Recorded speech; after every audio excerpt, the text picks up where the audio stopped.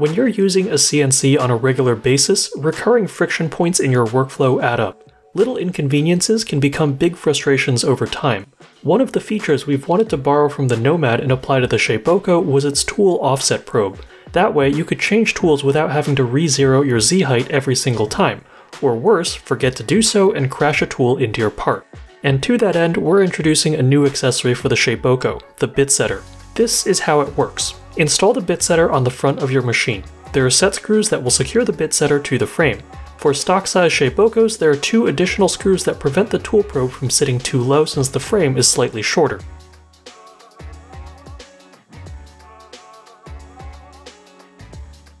Make sure you don't install it so far over that the Shapeoko can't reach it with an end mill. Plug the connector from the BitSetter into your Carbide Motion board's probe connector. If you're also using a touch probe, we have a signal splitter board that you can use since they share the same connector.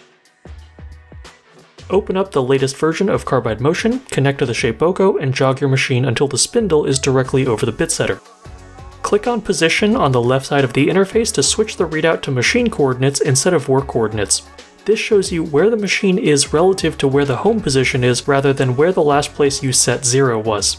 In the Settings tab of Carbide Motion, enable the use of the BitSetter and input the current machine coordinates so that the Shapeoko knows where to go to measure a tool. And that's basically all there is for setup. When you're using the Shapeoko with the BitSetter, the machine will probe for tool length when you first initialize it.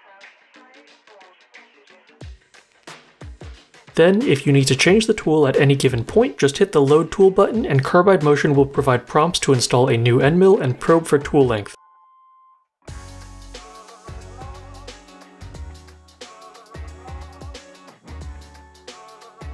So now let's say you've set your zero height with a short tool that you've already touched off on the BitSetter, if you install a new tool and measure its length, when you go to wrap it back to your old 0 point plus 6mm, Carbide Motion will automatically take into account the difference in the length of the tool and not crash into your stock.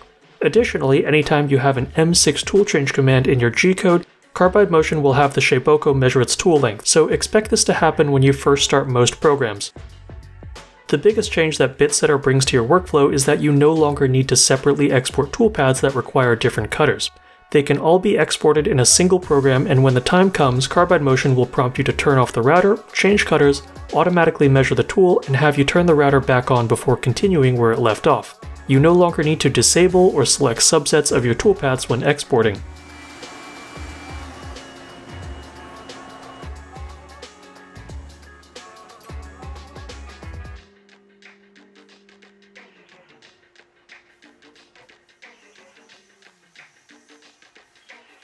If you're interested in adding the BitSetter to your workflow, it's available now in the Carbide 3D store.